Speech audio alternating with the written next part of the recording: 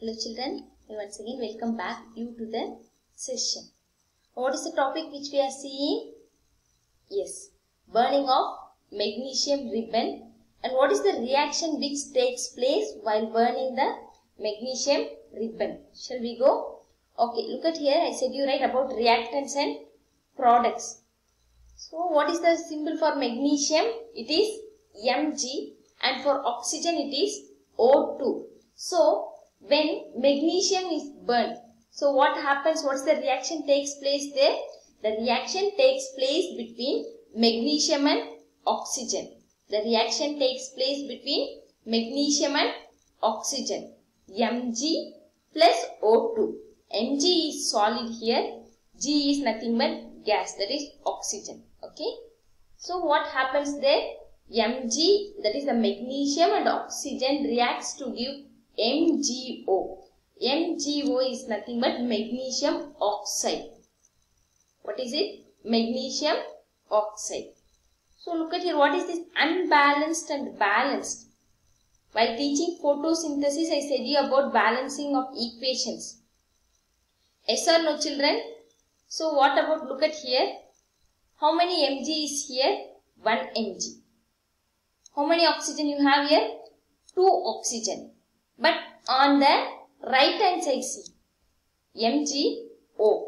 1 Mg, 1 Mg. So it is balanced. And what about oxygen? You have 2 oxygen on the left hand side. But on the right hand side you have only 1 oxygen. So now the equation is not balanced. Clear?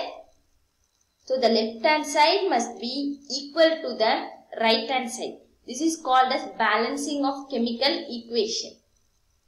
Here you have one magnesium.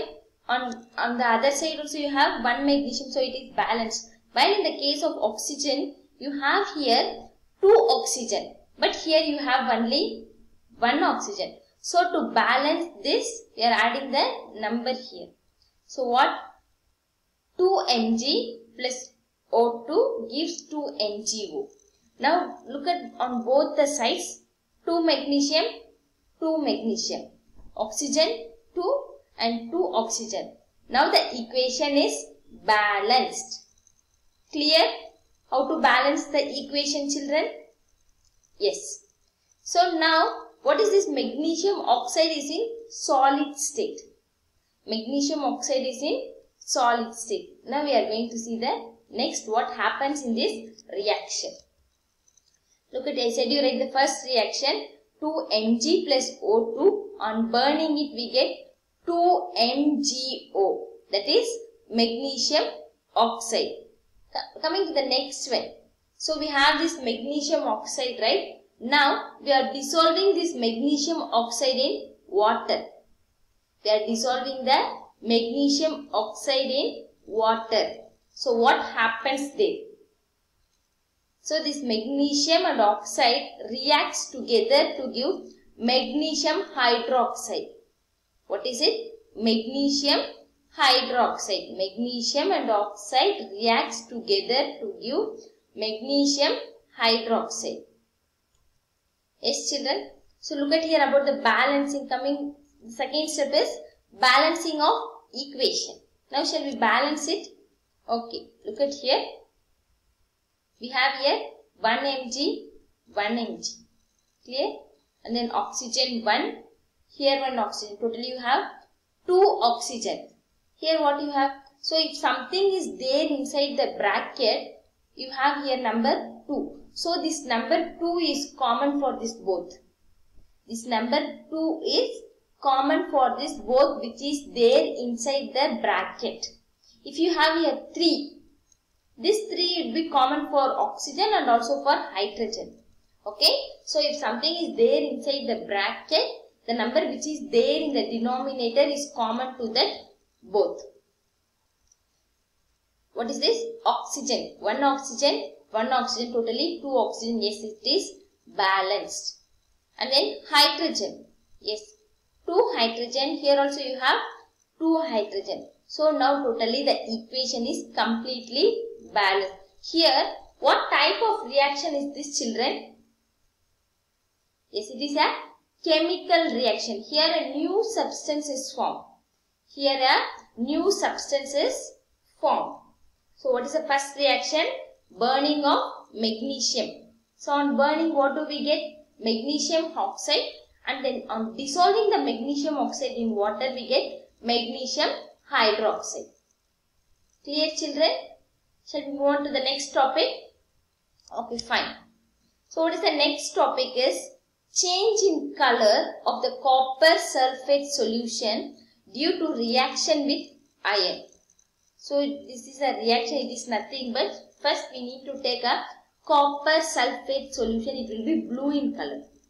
Copper sulfate solution will be blue in color. So we need to dissolve the copper sulfate in a water. After dissolving it, we need to add few drops of dilute sulfuric acid. What we have to do children, first we need to take copper sulfate. It is also called as blue vitriol or Nila.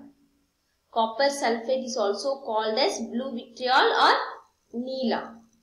We need to take a copper sulfate solution. The second step is to dissolve the copper sulfate in some water.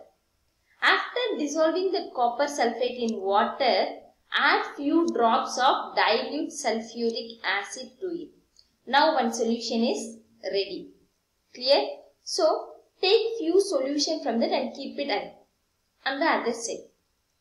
So, you have taken some solution from that and kept it on the other side. Leave it as it is. Don't disturb that. Okay. So, now you have one, this solution, right? Copper sulfate plus dilute sulfuric acid you need to put inside an iron nail inside the solution. We are going to put inside an iron nail. So leave it for few days. Leave it for few days or few hours. Okay. So what happens? Look at here. I said you right. Copper sulfate plus dilute sulfuric acid. This is the solution which we get in the first case. So we may put inside an iron nail or a blade. So and leave it for some times.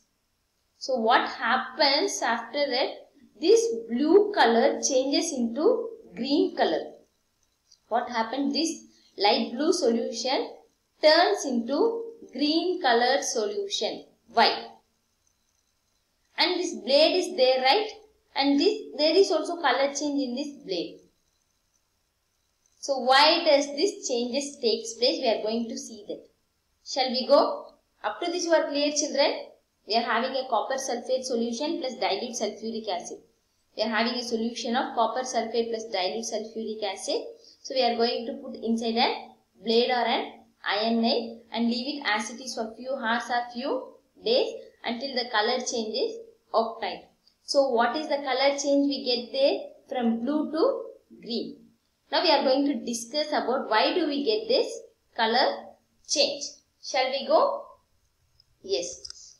Look at this equation. What is that solution we have there children? Copper sulfate.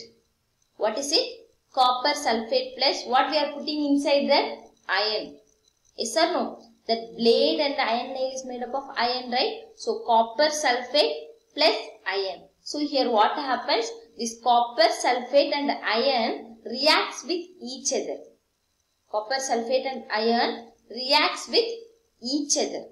So what happens here is copper and sulf sorry copper sulfate and iron reaction. After reaction what is the product which we get is iron sulfate plus copper. Iron sulfate plus copper. Look at here I will explain you with this equation okay. Fe, Fe is nothing but iron. What is this Fe is nothing but iron. CuSO4 is copper sulfate. What is this CuSO4 children? Copper sulfate. Okay. As I said you in the last class, what we have to do here is, we can separate it. Okay. Cu plus SO4 minus. Look at here Cu plus SO4 minus. So on reaction what happens? This SO4, this Fe is plus. So what happens? this SO4 go and combines with this iron. This SO4 go and combines with this iron. So what happens? Iron plus sulfate, what happens? It becomes iron sulfate. Iron and sulfate reacts to give iron sulfate and what do we get there? Copper. Okay. Now coming back to the children, look at here. So this color is there, right? So copper sulfate you have, iron we have put it inside it. So this copper is deposited on this blade. So only there is a color change in that blade. Copper is deposited on this blade and we have iron, right? Iron in this blade. So the iron which is there present in the blade will react with its sulfate. So only there is a color change. Iron combines with that sulfate and copper is deposited on that blade. So only there is a color change in this solution. So this copper sulfate now has been converted into iron sulfate. And this blade we have right. So what is deposited on the blade? Copper is deposited on the blade. The copper which is there in this solution is deposited on this blade and the iron which is there in this blade is react with that solution forming iron sulfate. I hope children you are clear. If not, you just clarify your doubts with me, okay? So, copper sulfate, iron. Okay, what happens? Copper sulfate and iron. Copper is there. This copper is deposited on that blade and iron reacts with sulfate giving iron sulfate and copper. So when this copper sulfate is converted into iron sulfate, blue color changes into green color. Clear? So now coming to the equation part. FeSO4 plus Cu. FeSO4, Fe is iron, SO4 is sulfate plus Cu is nothing but copper.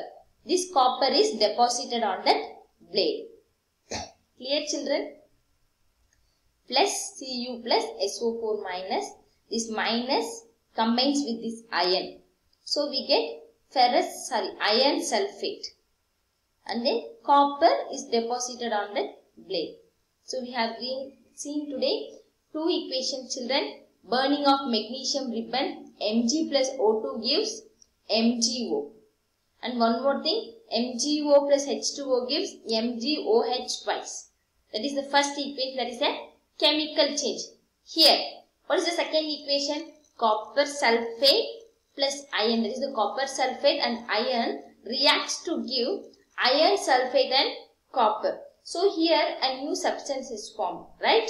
So this is also a example of chemical change. Clear children?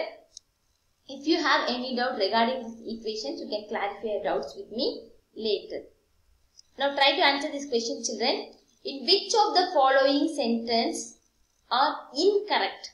Among this, which is the incorrect statement? Okay. Photosynthesis is a chemical change. Think about photosynthesis. Whether photosynthesis is a physical change or chemical change children? Very good. It is a chemical change. Photosynthesis is a chemical change because there a new substance is formed that is called as glucose or carbohydrate. And then digestion of food. As I already said you, digestion of food is a chemical change.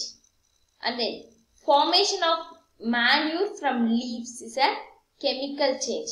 Yes, leaves is one thing and manure is the other component. So it is also here a chemical change. Photosynthesis is a chemical change. Digestion of food is also a chemical change. And then formation of manures from leaves is also a chemical change. Coming to the last option, iron and rust are same substance. Whether iron and rust are same children? No. Iron is different, rust is different. Rust is formed due to the reaction with the atmospheric moisture and air. Okay. So here the answer is option, last option. That is what is it? Option 4. Okay, this is the answer. This is the incorrect statement. Thank you children.